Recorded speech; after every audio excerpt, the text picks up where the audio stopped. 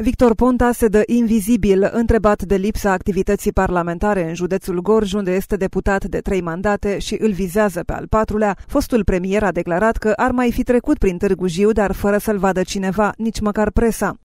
A mai fost? A mai fost, dar nu v-am spus dumneavoastră. Da, a mai fost și nu v-am zis de fiecare dată, pentru că am vrut să... Uite, să ne vedem doar în momente importante.